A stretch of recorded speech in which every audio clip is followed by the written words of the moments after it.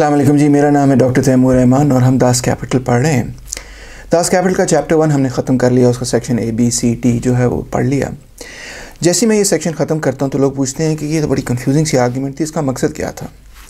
इसका जो बुनियादी मकसद था, वो आपको ये बात बताना था कि जो भी प्राइस होती है कमोडिटी की, वो हमेशा उसकी सोशली नेसेसरी लेबर टाइम से डिटर्मिन होती। है यानी जिस कमोडिटी में जितनी मेहनत होगी, वो उतनी ही महँगी होगी।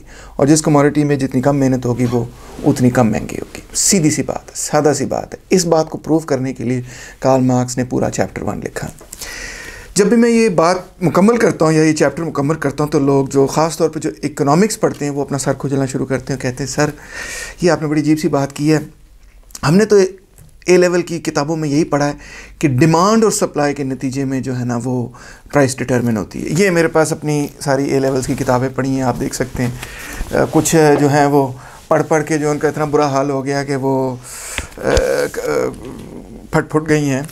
बट uh, ये डेविड बैग की किताब है उसकी उर्दू बाज़ार की कॉपी है ये एक ए लेवल्स की किताब थी ये माइक्रो इकनॉमिक्स वगैरह वगैरह मैंने इकनॉमिक्स पढ़ाई भी है और जारी बात है पढ़ी भी है।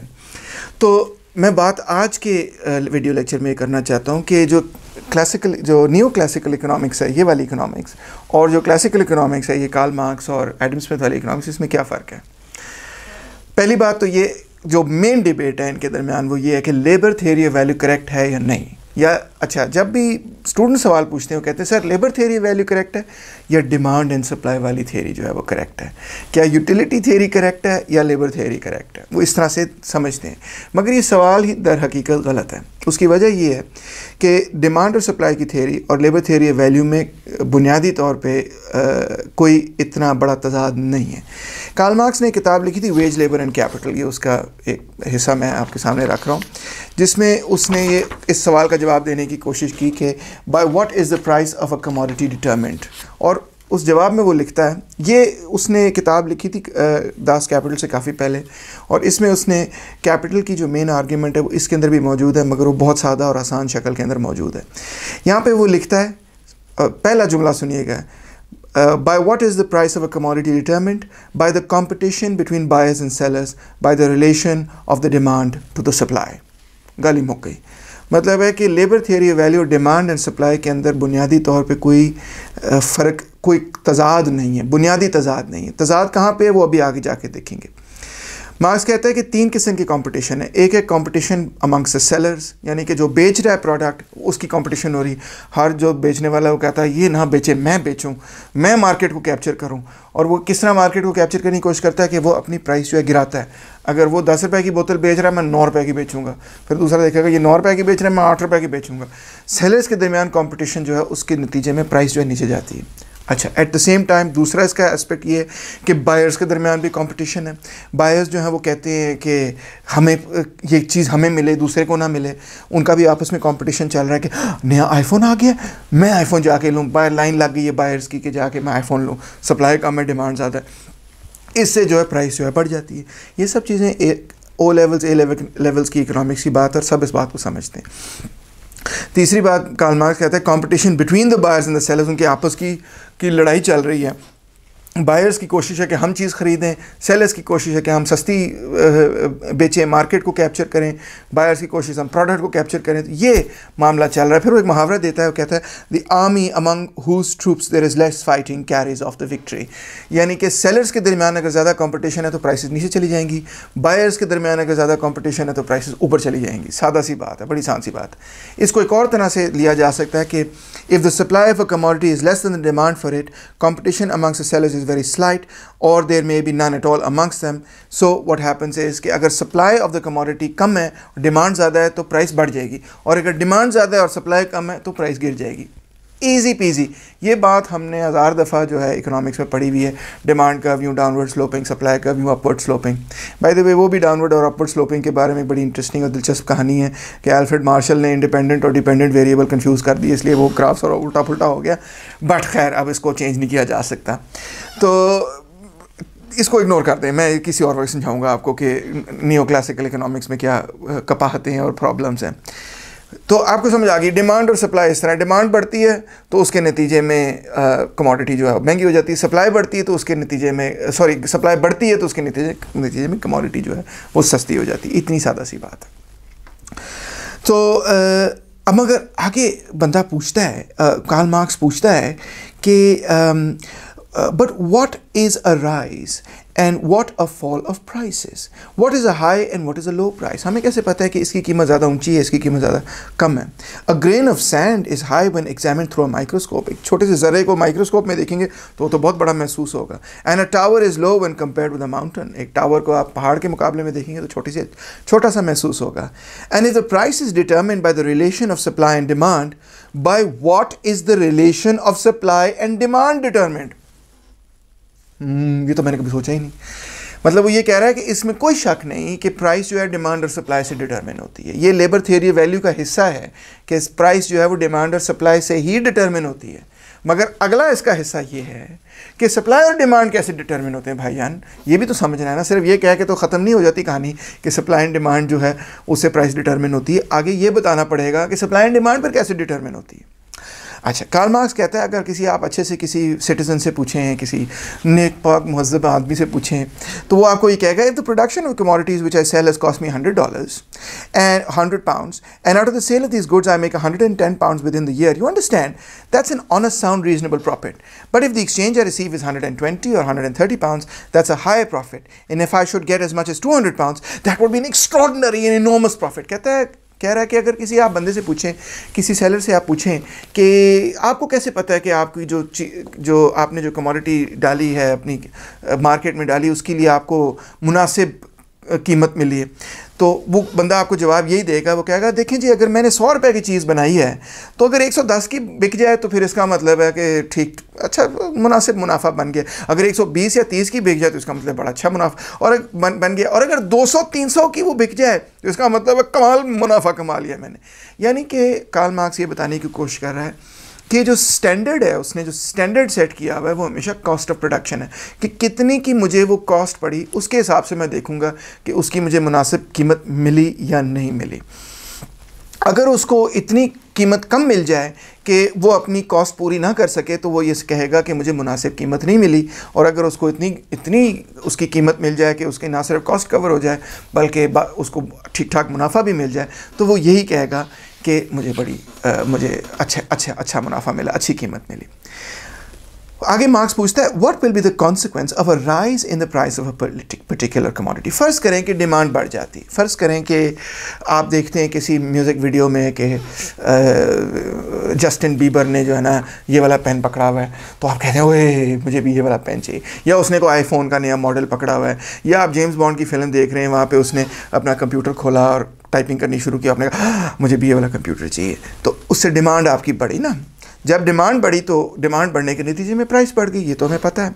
अच्छा जब प्राइस बढ़ती है तो फिर क्या होता है? मार्क्स कहता है a mass of capital will be thrown into the prosperous branch of industry and this immigration of capital will continue until it yields no more than the customary profit अगर किसी चीज़ की कीमत बढ़ जाएगी किसी कंप्यूटर की कीमत बढ़ जाए, किसी जूते की कीमत बढ़ जाए, किसी कपड़े की कीमत बढ़ जाए तो उसका रिस्पॉन्स ये होगा कि सरमाया जो है उस इंडस्ट्री में चला जाएगा। क्योंकि उसमें मुनाफा ज़्यादा कमा रहे हैं तो सरमाया जो है वो हमेशा मुनाफे के पीछे भागता है। उसके पीछे भागेगा क्या? है यार कपड़े के अंदर आजकल बड़ा प्रॉफिट बन रहा है। तो सरमायादार जो है ना, कोशिश करेंगे कि कपड़े की इंडस्ट्री के अंदर घुस जाए। स्टॉक मार्केट के थ्रू इन्वेस्ट कर लेंगे बैंकिंग इन्वेस्टमेंट बैंकिंग के थ्रू इन्वेस्ट करेंगे। जहाँ भी मुनाफा ज़्यादा होगा, वहाँ पर सरमाया पहुँच जाएगा। और अगर उलट हो कि किसी चीज़ की कीमत गिर जाए, उसकी उसकी डिमांड गिर जाए और कीमत उसकी गिर जाए तो क्या होगा? सरमायादार कहेंगे, यार, इस चीज़ में तो मुनाफा ही नहीं है, इसमें से निकलो यार। सरमाया वहाँ से उस ब्रांच ऑफ़ इंडस्ट्री से निकलना शुरू हो जाएगा। अच्छा जब सरमाया किसी ब्रांच ऑफ़ इंडस्ट्री में जाता है तो उसका नतीजा क्या होता है? कि सप्लाई बढ़ जाती है। और जब सरमाया जो है किसी ब्रांच ऑफ़ इंडस्ट्री से निकल आता है तो उसका रिज़ल्ट क्या होता है कि सप्लाई कम हो जाती है। तो जहाँ पे भी डिमांड बढ़ेगी, जहाँ पे भी डिमांड बढ़ेगी और मुनाफा बढ़ जाएगा उसके नतीजे में तो फौरी वहाँ पे सरमाया जो है दाखिल हो जाएगा और सप्लाई बढ़ जाएगी और प्राइस दोबारा से नीचे गिरनी शुरू हो जाएगी। और जहाँ पे भी डिमांड गिरेगी, जिस, और उसके नतीजे में क्या नाम है मुनाफा जो है वो कम हो जाएगा। तो वहाँ से सरमाया निकल आएगा कि यहाँ तो प्रॉफिट ही नहीं बन रहा है यहाँ पर कोई फ़ायदा नहीं इन्वेस्ट करने का और उसकी नतीजे में सप्लाई गिर जाएगी और प्राइसेस दोबारा बढ़ जाएँगी। इसका मतलब है प्राइसेस जो हैं, वो हमेशा जब ज़्यादा बढ़ जाती हैं तो डिमांड और सप्लाई के नतीजे में कैपिटल की अपनी सरमाए की अपनी इमिग्रेशन या एमिग्रेशन के नतीजे में फौरी तौर पे प्रेशर आ जाता है कि प्राइस दोबारा से नीचे गिरे। अगर डिमांड बढ़ जाएगी तो फौरी तौर पे कैपिटल वहाँ पे घुस जाएगा और वो सप्लाई को भी बढ़ा देगा और प्राइस को दोबारा नीचे गिराने की कोशिश करेगा। और अगर प्राइस गिर जाएगी तो फौरी तौर पे वहाँ से सरमाया जो है निकल आएगा और दोबारा कोशिश होगी कि प्राइस जो है वो, दोबारा प्रेशर होगा कि प्राइस जो है वो बढ़ जाए। ये बात तमाम इकोनॉमिस्ट मानते हैं। कोई इकोनॉमिस्ट दुनिया में नहीं है जो इस बात को झुटला सके। मैं आपको एक छोटा सा एक, ये एग्ज़ाम्पल दे रहा हूँ। ये आपकी स्क्रीन पे आ चुका है। ये एग्ज़ाम्पल इकोनॉमिक्स की, ये जो सामने आपकी टेक्स्ट बुक पढ़ी, वहाँ से मैंने लिया है। और आप इसमें देख सकते हैं कि डिमांड और सप्लाई कर्व यहाँ पे बने हुए और जैसे ही सप्लाई या डिमांड जो है, वो गिरती है या बढ़ती है, और कॉस्ट ऑफ़ प्रोडक्शन से जिसको नॉर्मल प्रॉफिट कहा जाता है इकोनॉमिक्स की टर्मिनोलॉजी में, जिसको एवरेज प्रॉफिट कहा जाता है, इसको नॉर्मल और एवरेज का मतलब एक ही है तो आप पहले ग्राफ में देखें कि डिमांड बड़ी डी वन से डी टू पे गई, और उसके नतीजे में सुपर नॉर्मल प्रॉफिट जो है वो अर्न होना शुरू हो गया। प्राइस जो है पी वन से पी टू पे चढ़ गई और इससे सुपर नॉर्मल प्रॉफिट हुआ।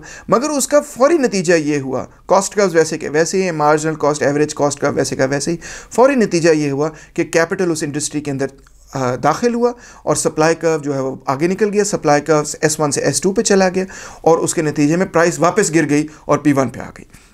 इसी तरह अगला ग्राफ देख लीजिए कि अगर डिमांड जो है वो डी वन से डी टू पे गिर जाती है तो उसका नतीजा ये होता है कि प्राइस जो है पी वन से पी टू पे गिर जाती है और जैसे ही वो प्राइस गिरती है तो यहाँ पे अब इकोनॉमिक लॉस बनना शुरू हो जाता है। और जैसे इकोनॉमिक लॉस बनता है तो सप्लाई जो है वो कम हो जाती है। कैपिटल वहाँ से निकल आता है। सप्लाई एस वन से एस टू पे गिर जाती है और उसके नतीजे में प्राइस दोबारा से जो है वो ऊपर चली जाती है। यानी कि प्राइस जो है वो हमेशा पी वन के इर्द गिर्द घूमेगी।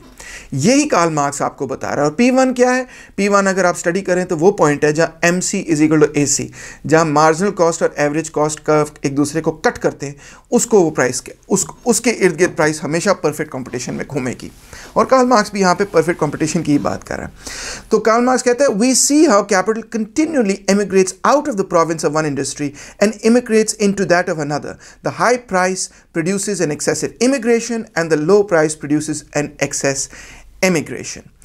अब वो कहता है the fluctuation of supply and demand always bring the price of a commodity back to its cost of production जो उसकी कॉस्ट ऑफ़ प्रोडक्शन है सप्लाई एंड डिमांड में फ्लक्चुएशन के नतीजे में हमेशा वहाँ पे वापस आ जाएगी। और अब वो ये बात करता है, और ये बात जो है यूनिक है लेबर थियरी ऑफ़ वैल्यू में और न्यू क्लासिकल इकोनॉमिक्स में ये फ़र्क है कि वो कहता है कि ये सब बात मान रहे हैं कि लॉन्ग टर्म प्राइस जो है ना, उसकी वो कॉस्ट ऑफ़ प्रोडक्शन के इर्द गिर्द, जहाँ पे नॉर्मल प्रॉफिट अर्न होता है, उसके इर्द गिर्द घूमेगी। ये बात कार्ल मार्क्स ने नहीं लिखी थी। ये बात अल्फ्रेड मार्शल ने नहीं लिखी थी। ये बात बात जो है, इस चीज़ की दरियाफ्त जो है, बुनियादी तौर पर एडम स्मिथ ने की थी। उसी ने इसको नाम दिया था नॉर्मल प्रॉफिट का। इसको ग्राफिकल एक शक्ल जो है ग्राफ की शक्ल में और मैथमेटिकल शक्ल में इसको एल्फ्रेड मार्शल वगैरह और और लोग लेकर आए, मगर बेसिक आर्ग्यूमेंट जो है, वो एडम स्मिथ ने डेवलप कर दी थी। और मार्क्स भी उसी को रिफ़र कर रहा है। मार्क्स कहता है कि इसकी एवरेज आप देखें, हर वक्त प्राइस एक्चुअली तो फ्लक्चुएट ही कर रही होती है, मगर एवरेज अगर आप देखें तो वो जो कॉस्ट ऑफ़ प्रोडक्शन है, उसके इर्द गिर्द फ्लक्चुएट करेगी। अब वो ये आपको बात कहता है, जो एडन स्मिथ ने भी की रिकार्डो ने भी की मार्क्स भी कर रहा है। मार्क्स के बाद ये बात जो है इकोनॉमिस्ट मजीद, जो प्रो कैपिटलिस्ट इकोनॉमिस्ट हैं, वो ये नहीं कहते। मगर वो क्या बात है, वो कहता है cost of production is nothing other than the labour time requisite to the production of a commodity यानी कि कॉस्ट ऑफ़ प्रोडक्शन है ही सोशली नेसेसरी लेबर टाइम वो कैसे जनाब? चले, ये तो मान लिया कि जब मैं एक चीज़ बनाता हूँ तो मैं दो चीज़ें उसमें, दो चीज़ें मुझे ख़रीदनी पड़ती एक तो मुझे लेबर टाइम ख़रीदना पड़ता है, ठीक है, माना लेबर को मैं पैसे देता हूँ। दूसरा, मैं रॉ मटेरियल्स लेता हूँ, मैं मशीनें लेता हूँ, मैं वो सब चीज़ें लेता हूँ। तो वो तो और है ना, वो तो लेबर टाइम नहीं है। काल मार्क्स कहता नहीं, मगर ऐसे नहीं है। अब रॉ मटीरियल्स और वेयर एंड टेयर और ये सब चीज़ें भी जब लेते हैं तो उनको भी बनाने में कोई लेबर टाइम लगता है और मजीद को रॉ मटेरियल लगता है। और उनको भी बनाने में कोई लेबर टाइम लगता है और रॉ मटेरियल बनता है। उनको भी बनाने में। यानी कि जब आप इस सारी चीज़ को रिड्यूस करते हैं तो बेसिकली हर कॉस्ट जो है वो लेबर टाइम में रिड्यूस हो जाती है। रॉ मटेरियल की कॉस्ट भी आपने किसी मैन्युफैक्चरर से ली थी। वहाँ पर भी उसका भी कोई रॉ मटीरियल था और लेबर टाइम था। इस तरह अगर आप पीछे चाहते जाएँ प्रोडक्शन प्रोसेस में तो एक पॉइंट आएगा कि जब एक लेबरर जो है नेचर से कुछ चीज़ हासिल कर रहा है एंड दैट्स इट तो वो इससे मत, इसका मतलब ये है कि हर चीज़ की कमोडिटी जब आप रिड्यूस करते हैं उसको, जब आप पीछे लेके जाते जाते हैं, उसके प्रोडक्शन प्रोसेस में पीछे जाते हैं तो वो बुनियादी तौर पे उसके लेबर टाइम की ही कॉस्ट होती है। इस यही वजह है कि नेचर से जब आप कोई चीज़ डायरेक्टली हासिल कर लेते हैं, जैसे कि मैं सांस ले रहा हूँ, मुझे हवा मिल रही है। तो मैं उसकी कोई कीमत नहीं अदा करता क्योंकि उसमें कोई लेबर टाइम खर्च ही नहीं हुआ है। वो मुझे नेचुरली अवेलेबल है। पानी, हवा जो है और आबो हवा जो है वो मुझे नेचुरली अवेलेबल उसमें कोई लेबर टाइम नहीं लगता। मेरी बड़ी ज़रूरत है, मगर मुझे वो फ़ौरन मिल जाती है। उस पर कोई लेबर टाइम किसी और का खर्च नहीं होता, इसलिए मुझे ख़रीदनी नहीं पड़ती। वो प्रॉपर्टी वो कमोडिटी बनती नहीं। तो अब आपको ये बात समझ आई। जो मेरा इस आज का मकसद था, वो ये आपको समझाना था कि डिमांड और सप्लाई और लेबर थियरी ऑफ़ वैल्यू में कोई इतना बड़ा कॉन्ट्रडिक्शन नहीं है। जो चीज़ें आपने इन किताबों में पढ़ी हैं, वही चीज़ें आपको कार्ल मार्क्स पढ़ा रहा है, मगर एक एक्सेप्शन के साथ। एक्सेप्शन ये है, हर इकोनॉमिस्ट ये मानता है कि प्राइस जो है, वो बुनियादी तौर पे कॉस्ट ऑफ़ प्रोडक्शन जहाँ M C is equal A C cut होता है वहाँ पे फ्लक्चुएट करती है। क्यों फ्लक्चुएट करती है? क्योंकि कैपिटल हमेशा प्रॉफिट को चेस करता है। और क्योंकि कैपिटल प्रॉफिट को चेस करता है, इस वजह से एक normalisation of the rate of profit across industries होता है। फ्लक्चुएशन ज़रूर होती हैं। हर कमोडिटी की प्राइस में फ्लक्चुएशन होती हैं। मगर वो फ्लक्चुएशन एवरेज आउट कर जाती हैं। उनकी एवरेज आउट जब आप करके देखते हैं तो वो कॉस्ट ऑफ़ प्रोडक्शन के इर्द गिर्द घूम रही होती हैं। सिर्फ़ लेबर थियोरी ऑफ़ वैल्यू और नियो क्लासिकल इकोनॉमिक्स यानी कि ये जो सारे एल्फ्रेड मार्शल वगैरह के बाद में, फ़र्क ये है कि वो आपको ये बात नहीं सिखाते, जो बात आपको नहीं सिखा रहे, वो ये है कि हर कॉस्ट ऑफ़ प्रोडक्शन को आप बुनियादी तौर पे ब्रेक डाउन कर सकते हैं into the socially necessary labour time जो लेबर टाइम इस्तेमाल होता है वही हर चीज़ की कॉस्ट ऑफ़ प्रोडक्शन है। और क्योंकि प्राइस कॉस्ट ऑफ़ प्रोडक्शन के लिए घूमती है, सब ये इस बात को मानते हैं। ऑल काल मार्क्स हैज़ टू डू सिर्फ़ काल मार्क्स ने ये साबित करना है कि कॉस्ट ऑफ़ प्रोडक्शन और लेबर टाइम जो है, एक ही चीज़ है। और वो साबित करना कोई मुश्किल काम नहीं है। उसकी वजह ये है कि जब आप प्रोडक्शन प्रोसेस में पीछे जाते हैं तो रही कुछ नहीं जाता सवाए इसके कि आपका लेबर क्या था। जो नेचुरली अकरिंग प्रोडक्ट्स हैं, वो तो फ्री होते हैं। तो इस तरह से काल मार्क्स की थियोरी जो है लेबर थियोरी ऑफ़ वैल्यू वो हंड्रेड परसेंट करेक्ट मैं समझता हूँ। और उसमें और ये जो चीज़ें आपने इकोनॉमिक्स में पढ़ी, इसमें कोई फ़र्क नहीं, सिर्फ़ ये बात अधूरी है, वो बात पूरी करता है। अब आखिर में मैं ये कहना चाहूँगा कि इकोनॉमिक्स की किताबें जो हैं, वो क्यों आपको ये लेबर थियोरी वैल्यू नहीं सिखाती या अगर सिखाती हैं तो छोटा सा एक नोट कहीं पे कोने में डाल देती हैं। क्यों इकोनॉमिक्स की सेंट्रल हिस्सा नहीं है लेबर थियोरी वैल्यू उसकी वजह ये है कि अगर वो लेबर थियोरी वैल्यू पढ़ा दें और आपको समझा दें कि लेबर थियोरी वैल्यू क्या है तो एक लॉजिकल स्टेप के नतीजे में आप इस नती, आप इस कंक्लूजन पे पहुँचेंगे, इस नतीजे पे पहुँचेंगे कि सरमायादारी निज़ाम में जो लेबर्स लेबरर्स प्रोड्यूस करते हैं, जो वेल्थ लेबरर्स प्रोड्यूस करते हैं, वो ही सरमायादारों की मुनाफे की बुनियाद बनती। ये मैं आगे जाके प्रूव करूँगा आपको। अभी मैं सिर्फ़ इब्तदाई चीज़ें सेटअप कर रहा हूँ। जब कार्ल मार्क्स ने ये साबित कर दिया कि सरप्लस वैल्यू यानी कि प्रॉफिट जो है, उसकी बुनियाद जो है, वो एक्सप्रोप्रिएटेड लेबर है अप्रोप्रिएटेड लेबर है, वो वो वो मेहनत है जो कि मज़दूरों से ली गई है, वो उसकी, वो सरमायादारी मुनाफे की बुनियाद है। जब उसने ये साबित कर दिया तो जो प्रो कैपिटलिस्ट इकोनॉमिस्ट थे वो घबरा गए। उससे पहले वो तमाम लोग एडम स्मिथ और रिकार्डो और उनकी सब थियरीज़ को मानते थे। अब जब उसने बिल्कुल दो टोक उन्हीं की थियरीज़ की बुनियाद पर साबित कर दिया कि कैपिटलिस्ट सिस्टम एक इस्तेसाली निज़ाम है तो वो इतना घबराए कि उन्होंने कहा वो इस लेबर थेरी वैल्यू को ज़रा ठप करो, इसको चुप करो, इसको बंद कराओ, इसको ना पढ़ाओ, इसके ऊपर बात ही ना करो, इसको कोई गलत है, इसको गलत मलत करके पेश कर दो, क्योंकि अगर ये हमने पढ़ा दी, ये हमने समझा दी तो फिर तो हम मारे गए, हमें ये भी कबूल करना पड़ेगा कि कैपिटलिस्ट सिस्टम एक एक्सप्लॉयटेटिव सिस्टम है। तो लिहाजा जो अल्फ्रेड मार्शल ने जब 1920 के अंदर प्रिंसिपल्स ऑफ़ इकोनॉमिक्स अपनी किताब दोबारा लिखी तो उसने लेबर थियोरी ऑफ़ वैल्यू को बिल्कुल इग्नोर करते हुए बाकी सारी एडम स्मिथ की uh, जो uh, और रिकार्डो की जो जो बुनियादी थियरीज़ थी उनको ग्राफिकली रिप्रेजेंट करके दिखाया मगर उसके अंदर लेबर ऑफ़ वैल्यू को गायब कर दिया। और 1920 के बाद वही इकोनॉमिक्स जो है मेन स्ट्रीम इकोनॉमिक्स बन गई उसमें लेबर ऑफ़ वैल्यू को निकाला। इसीलिए गया क्योंकि उससे ये साबित होता था कि कैपिटलिज्म जो है, वो एक एक्सप्लाइटेटिव सिस्टम उम्मीद है आपने ये लेक्चर इन्जॉय किया है। अभी हम जारी रखेंगे। नेक्स्ट टाइम मैं आपको चैप्टर टू सिखाऊँगा और अब प्रूव करके दिखाऊँगा कि किस तरह से कैपिटलिस्ट सिस्टम जो है, वो बुनियादी तौर पर एक इस्तेसाली निज़ाम है। Thank you so much